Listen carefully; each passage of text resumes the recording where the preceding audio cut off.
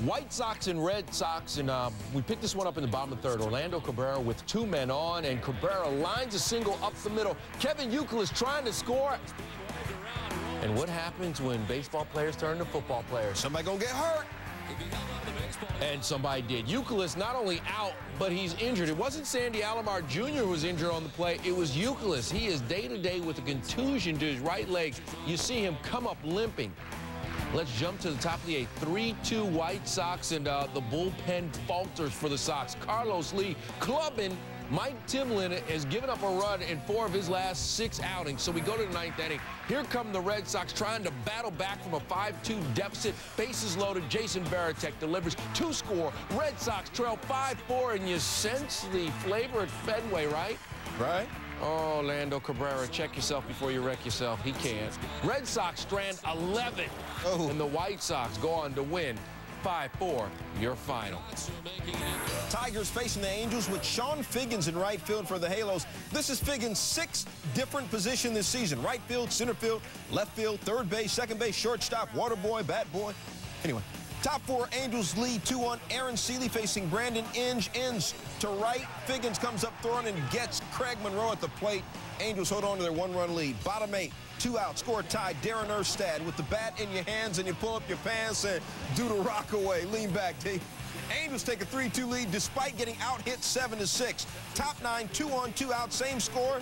Troy Percival in trouble until Carlos Guillen flies deep to center, but it stays in. Percival, save number 23. Halos get a 3-2 win.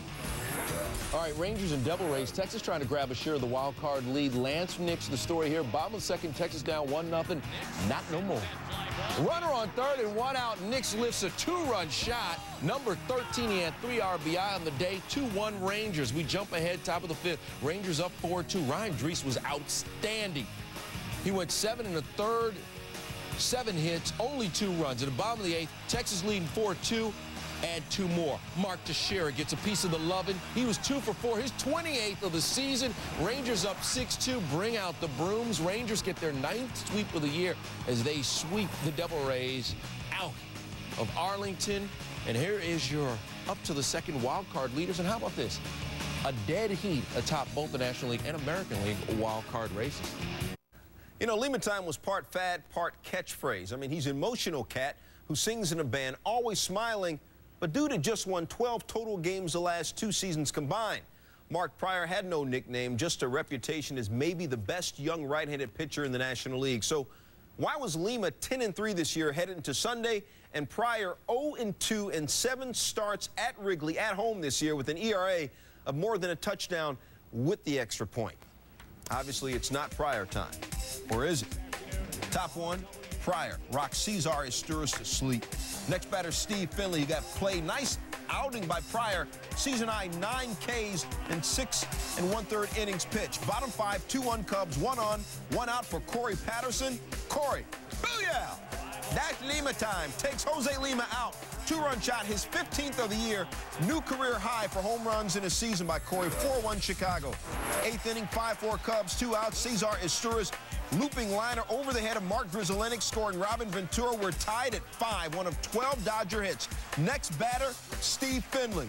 Big ups. Finley, RBI single to right, scoring Alex Cora. Said Finley later, until the game is over, we're not thinking we're going to lose 6-5, and you don't lose with Eric Gagne in the hill. Big Canadian came in throwing heat, freaks, Jose Macias with a 96 mile per hour fastball, 142 saves over three years, ties a major league record for Gagne. Dodgers win at 8-5. So San Francisco and Philly Giants with a chance to move into a tie with Chicago atop the wild card standings. Top of the seventh, Barry Bonds facing Vicente Padilla. Padilla thought that was a strike.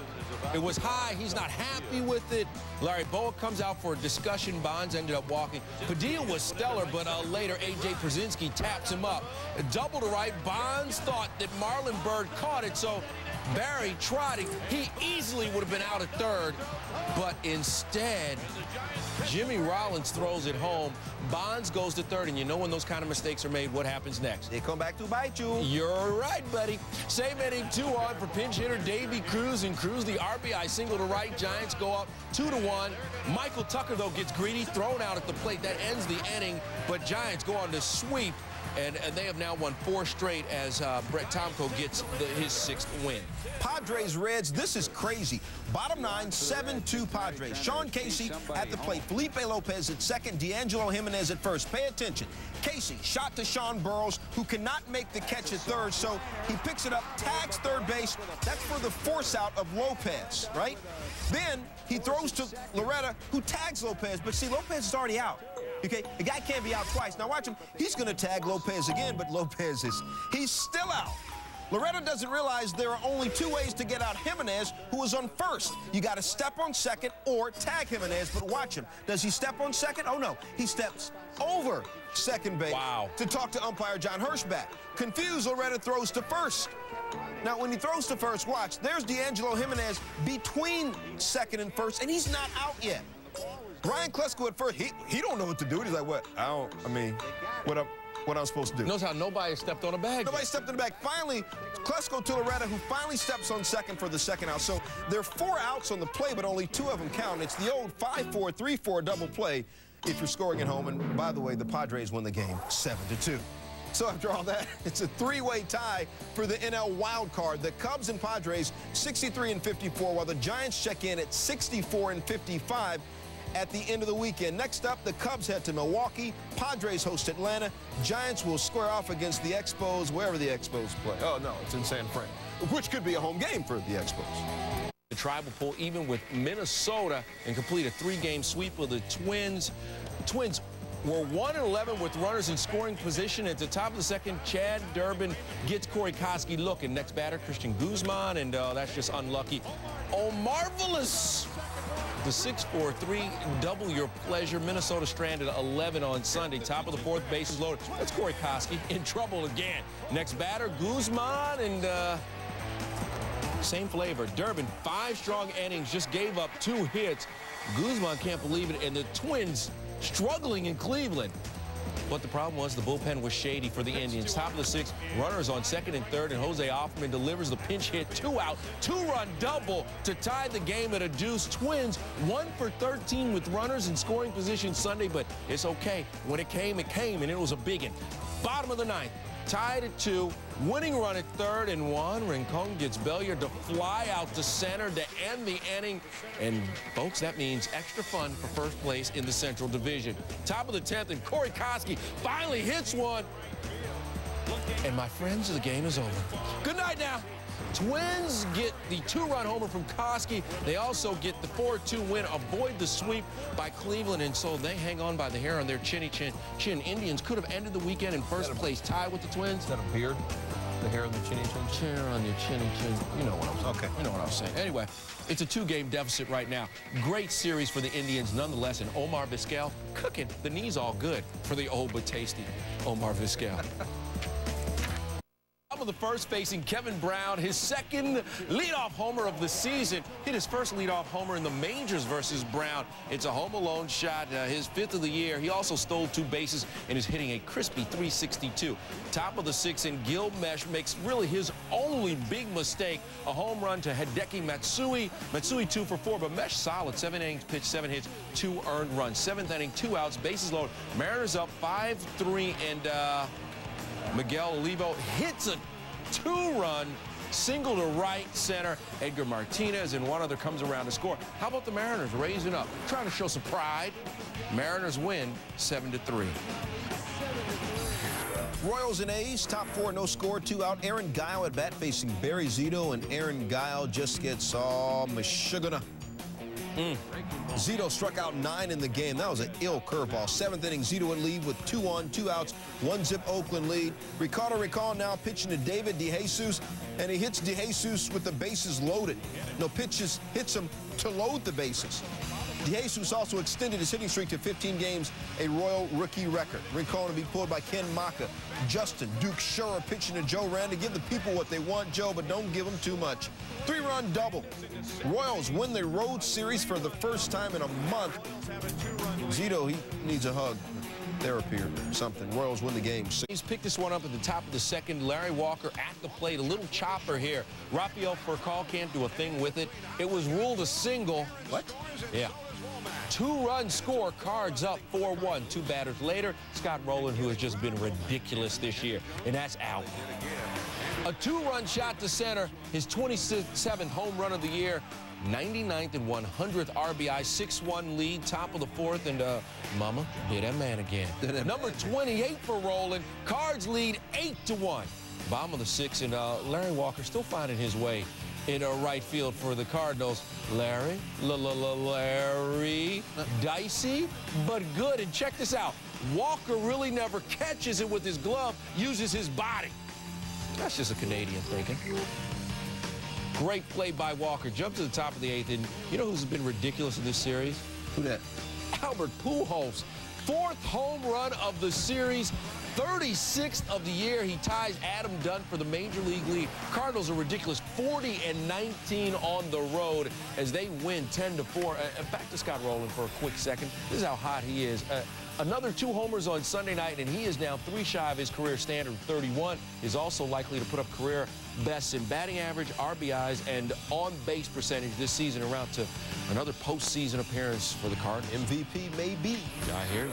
Diamondbacks Mets, Randy Johnson, 0-1, 1.29 ERA this year against New York. Mike Cameron, lifetime against Unit. He ain't never had a hit off of him and has struck out 10 times in 16 at-bats. Bottom two, Johnson rocks Cameron silly. Said Met skipper Art Howe, we caught Randy on the wrong day. Cameron struck out again later, though he would get a hit off unit. Sixth inning, Johnson strikes out Todd Zeile, and then Zeile felt Johnson stared at him. Didn't like it. Later, Zeile said after 4,000 strikeouts, he doesn't need to be doing that. Big Unit said later, yo, we were just battling. Some words here. Somebody said something about halitosis. Somebody's breath was stinking. Cooler heads prevailed. Nothing happened. Zeile one for four, and that K. Later, Johnson, well, he's 6'10". He's going to hit his head on the dugout. Hell, he's been in the league for a while. Can you build the things a little bit higher? Bottom line, Johnson tells Joe McEwing, you ain't got to go home, but you got to get the heck up out of here. 14 Ks, ties his season high, 199th career double-digit strikeout game. D-backs win it. Three, six, number nine, three plays from the sixth position. Jimmy Rollins, ridiculous to get the runner at first. Alex Gonzalez, sick over the shoulder, kind of like Willie Mays. And then Nomar from deep in the hole. That's your 9-3-6. Number eight, Dodgers and Reds, and Adam Dunn goes crush, crush. I mean, actually, this is Jurassic. He smokes it into the Ohio River 501 feet away. Number seven, Falcons and Ravens. Fred Weary, seven interceptions on the regular season side. This is preseason, but he picks it off of Michael Jenkins' hands and goes 49 yards back to the house. Ravens won the game 24 zip. Number six, White Sox and Red Sox, Kevin Youkilis, and uh, watch the catch there. Slides in to the dugout. Well, not quite. Holds off and pulls it in. Number five, Rockies Pirates, Tike Redman diving on the warning track. Tike Redman, are you kidding me with that catch? Oh, my goodness, what a play he just made. That was a great so catch. At number four, a great catch from the Jaguars and Dolphins game. Ronald Bellamy one-handed catch. Beautiful catch by Bellamy. Watch it again. Bellamy stretches out, pulls it in, and uses his left hand to cushion his fall. Those are skills. Like that. Number three, speaking of skills, skills and skills, or skills, Andruw Jones to deep right. Brady Clark robs Andruw. Now, Andruw's got six career gold gloves, but Brady does his best Andruw impersonation on Andruw.